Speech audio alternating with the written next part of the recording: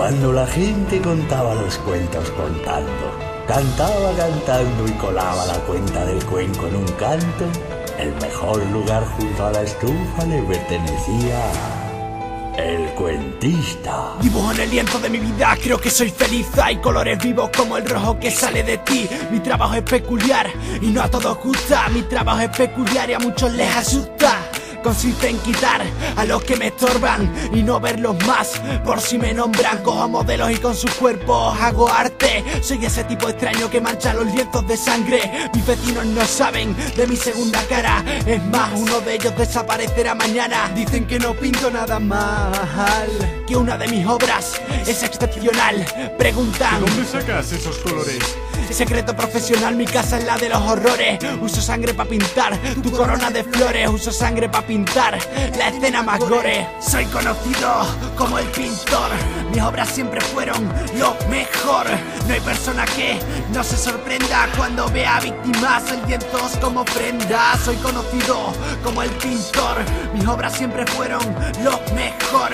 No hay persona no se sorprenda cuando vea víctimas lienzos como prenda pintando cuando llamaron a la puerta. Era la vecina nueva pidiendo sal. Le digo, pasa, tiene aspecto de sueca. Desde ese mismo instante nadie la vio más. Entre la cocina ella miraba mis obras. Era ya muy tarde y la invité a cenar. Ella aceptó y una sonrisa me hubo de robar, pues a nadie ansiaba como a ella asesinar. Fui a mi cuarto y cogí mis herramientas. Ella se quería ir y no la iba a dejar. Volví a la mesa y le pasé la pimienta. Y ya de paso le pregunté si la podía pintar. Le insistía en que por favor me dejase. Sus ojos azules me incitaban a matar. Rasgos de miedo comenzaron a pintarse. Nadie nunca vio tan de cerca al mar. Soy conocido como el pintor. Mis obras siempre fueron lo mejor.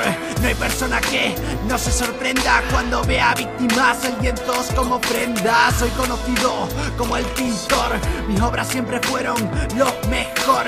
No hay persona que no se sorprenda cuando vea víctimas el como prenda. Hubo forcejeo, pero al fin estaba muerta en mi salón. Abrí su cuerpo y besé su corazón. Pintaba con sus pechos y era precioso. El cuadro perfecto fue por esos ojos. La gente sospechaba pasado varios días, así que pronto me puse a limpiar. Cuando terminé, llamé a la policía, le ofrecí el cuadro al jefe. Así no sospechará. Tras la visita de la poli, nadie más sospechó de mí.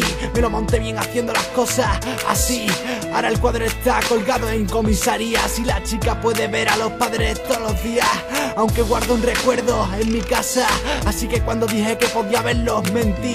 Tengo sus ojos en una cadena la cual siempre llevo cerca de mí. Soy conocido como el pintor, mis obras siempre fueron lo mejor.